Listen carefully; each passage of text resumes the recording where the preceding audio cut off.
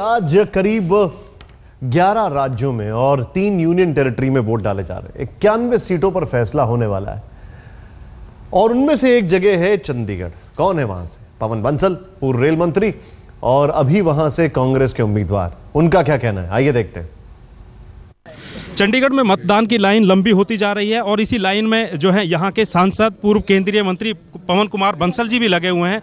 बंसल जी, तीसरी बार जो है तीन बार आप रह चुके हैं, फिर इलेक्शन है। क्या उम्मीदें हैं सबसे पहले सवाल? बिल्कुल पक्की है हमारी जीत।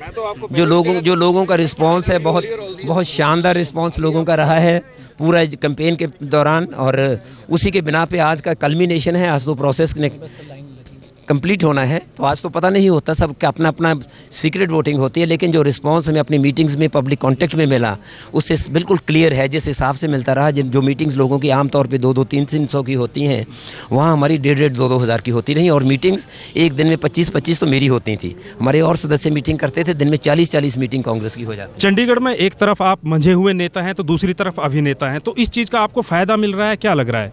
मैं कोई अभिनेता जहाँ नेता का उसमें कंट्रोवर्सी में नहीं पड़ रहा, मैं एक चीज़ जानता हूँ कि इसकी कहीं भी अपने और किसी क्षेत्र में बहुत ऊँची, ऊंचाई पे कोई पहुँच जाए, लेकिन अगर पब्लिक लाइफ में आना होता है, जो लोगों के बीच में रहने का, उसके लिए आपको वहाँ से फिर वही शुरुआत करनी पड़ती है, वो मेहनत की।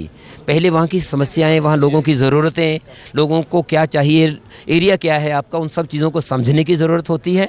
उनको समझने के बाद फिर आप लोगों की बात कर सकते हो। अगर मैं किसी जगह कहूँ कि यहाँ हाइड्रो पावर इलेक्ट्रिसिटी प्लांट नहीं लग सकता तो जवाब में ये मुझे मिले कि अगर वो नहीं लग सकता, या न्यूक्लियर पावर प्लांट तो लग सकता था, वो क्यों नहीं लगवाया? तो आप समझ सकते हैं कि कितनी सूचना चंडीगढ़ के प्रति है।